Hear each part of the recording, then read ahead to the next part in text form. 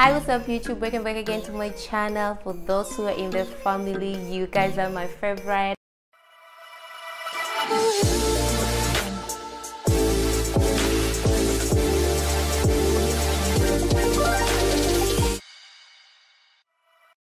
I'm really super excited to be back and I'm here as we have started another chapter of content creation and sharing a lot of things. So from now onward, you're going to see this face and I'm going to try my best to be available and to give you all the information that I needed. I've been receiving a lot of questions about our country so I'm going to do a video as you see from the title I'm going to talk about the things that you need when you come to Tanzania. First of all, Tanzania is a very beautiful country. It's found in Africa and it's on the eastern part of Africa. Uh, when you search for Tanzania, the things which are going to come, you're going to hear Serengeti, you're going to hear, uh, you're going to see Mountain Kilimanjaro. Basically, there's so many things which are found in Tanzania and as someone who loves their country, I'm Tanzanian by blood. I'm born here and raised here.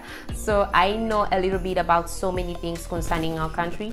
And so today this video is to give you some ABC so as you can be able to prepare yourself when you come to Tanzania. First thing that I would want you to know when you come to Tanzania is about internet. I think this is something which is most important to most of the people when you come to Tanzania. And especially when you're coming here and you don't know anybody, you really have to get the internet so as you can be able to communicate with the people that you're meeting in our country or a place that you're going. So internet you can access internet when you come to tanzania.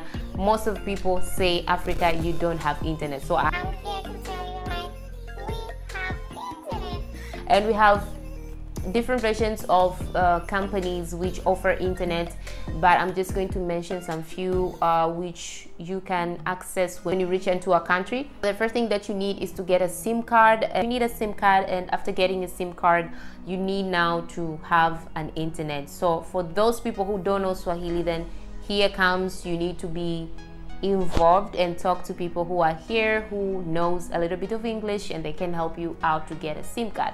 We have vodacom we have airtel we have tigo we have what else I think those are the mostly famous. We have TTCL, yeah, we have TTCL. So you can get a SIM card and you can be able to access internet.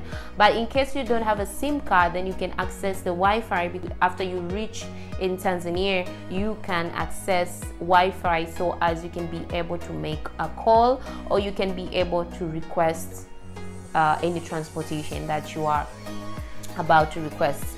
The second thing that you need is transportation. And you might be thinking, I'm going to a country, I know nobody. Probably you're doing a solo trip, you know no one. You have to to know how you're going to get in the hotel that you're going or probably you're going to an, an Airbnb so it's up to you we have Bolt, we have Uber, we have Farasi. You can install Uber even when you're in your country. So as when you reach here, you have to know the exactly location that you're going. So as when you're requesting for an Uber, it's gonna be easy for you to request. It's just normal, the same way that you can request if you are in another country. I think it's the same procedure that you can use. The most important things is just to know the place that you're going yeah so that's my second point and the third point the most important thing that you need to know is where exactly are you going because maybe you're coming to tanzania and you have already booked a hotel or you have booked uh, an airbnb so you have to know the exactly place that you're going.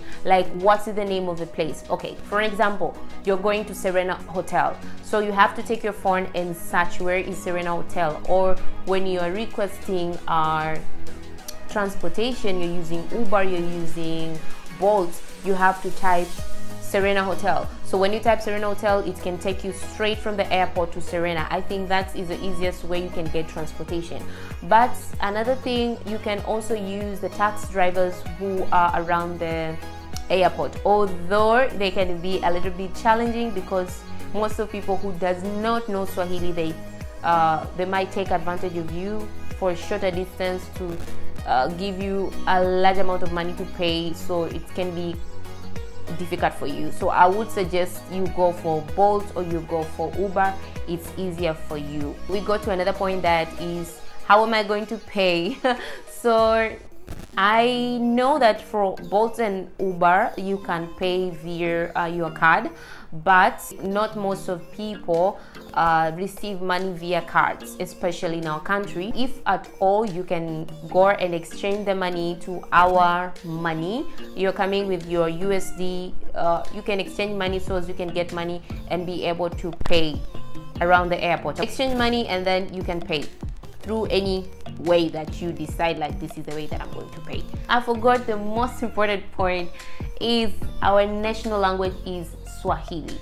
So it can be tricky because not everybody speaks English as you can hear me right now. Not everybody speaks English. So some of the people do not know English at all. Make sure you ask around and as I said uh, not knowing English can be a disadvantage to you because people can take advantage on you. And I think anybody can take advantage on you in any country. Anybody can do that. I want to encourage you to research. If you're coming here to stay, at least you can go to Google and type like, I need to ask for help. Like, how do I ask for help in Swahili? I think Google can help you. There are applications which speaks about uh, how to conversate in Swahili. They can teach you ABC. So as when you come here, you're not completely uh, numb. You don't know anything about our language. So I think that is something I could recommend, and I would re recommend for someone who is coming to stay for longer time.